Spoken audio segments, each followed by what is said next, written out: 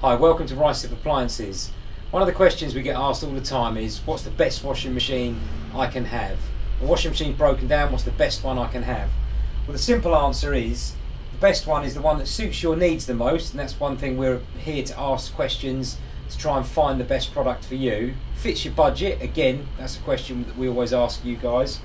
Um, and also the amount of use you're going to be giving it. So if you're one person on their own and you wash every 10 days, you don't need to go for a particularly um, top of the range in build quality and feature machine. You might want to, but there's no necessity for it.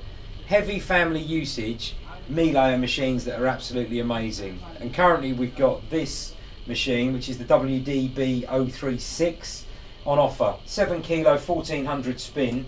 Uh, we've got about 10 of these left and they're 599. I think I checked and John Lewis and various other people are 699. That is as of today, which is the 11th of October 2018, because obviously you might be watching this video um, in six months or five years or 200 years time, so uh, you probably think it's an incredible bargain then. Uh, but one promo that they're doing on this until the end of November is a £50 cashback. So it's $5.99 for the machine, then you get £50 cashback on it. So that is a real family use machine. So built like a tank and it's whisper quiet. Thanks a lot. Cheers for watching.